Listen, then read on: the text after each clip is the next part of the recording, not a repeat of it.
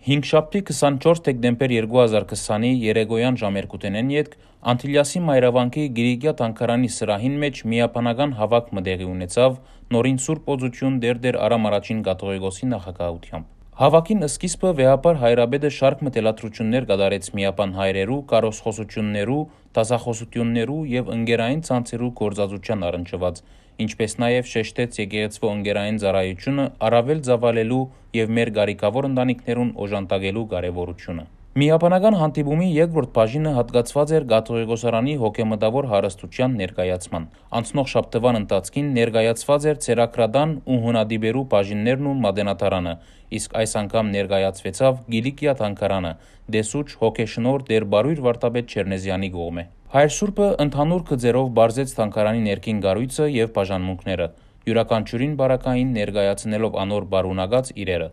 Անհատկապես ծանրացավ Գիլիկիա թանգարանի բարունակած այն իրերուն վրա,